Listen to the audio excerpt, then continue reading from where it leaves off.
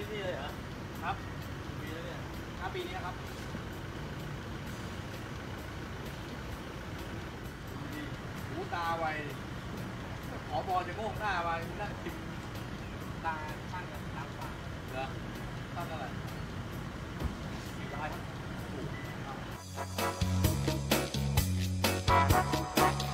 คือประมาณว่าท่านท่านมาตรวจดูแลในพื้นที่ของประชาชนที่น้ำท่วมอะครับ ไล่มาตั้งแต่เขตอยุธยาป่าโมกแล้วก็ออกไปทางสิงห์บุรีประมาณนั้นนะครับ ทีนี้สายตาผมสั้นสั้นมาสี่ล้อนะครับผมสายแว่นแล้วแต่ว่าคือผมมามองระยะไกลเนี่ยมองไม่เห็นว่าเป็นหน้าใคร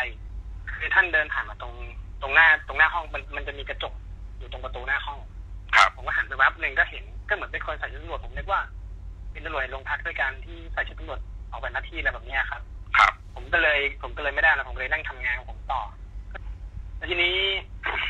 ปิดประตูเลยเข้ามาในห้องของร้อยเวรก็เลยตกใจแล้วก็ลุกทำงานรถท่านครับ ท่านก็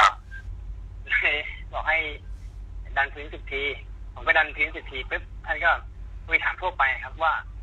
จบมารุ่นไหนผมบอกผมจบนักเรียนในร้อยรุ่นหกสิบห้าครับ อะไรนี่นี่ก็ถามเรื่องแบบชีวิตปกติทั่วไปฮะ ครับ ครับเสร็จแล้วท่านก็ขึ้นไปประชุมที่ชั้นบนของของของโรงพักนี้พอพอท่านได้กลับท่านก็มีการถ่าย รูปร่วมอะไรกับตำรวจอย่างเงี้ยฮะแล้วแล้วก็ผมก็นั่งทำงานปกติประมาณก็มีเพื่อนนายตำรวจที่โรงพักด้วยกันของผมเนี่ยเขามามามาเรียกผม บอกว่ากองตะอ่าพบตรเรียกไปคุยด้วยบอกผมเนี่ยเหรอผมก็เลยรีบวิ่งไปหาท่านครับท่านก็เลย อ่าร้องให้ผมดันพื้นอีกห้าที ผมก็เลยดันให้ท่าน อ่าดันตามตามที่ท่านบอกครับ แล้วก็ก็ถามทั่วปกติว่าอยู่นี่ได้แต่ จบเลยใช่ไหมแล้วอยู่กี่ปีแล้วอะไรเงี้ยผมบอกห้าปีแล้วอะไรแบบเนี้ยครับประมาณคุยสารทุกข์สุขดิบทั่วไปปกติเนี่ยครับครับไม่มีอะไรนอกนั้นก็ไม่มีอะไร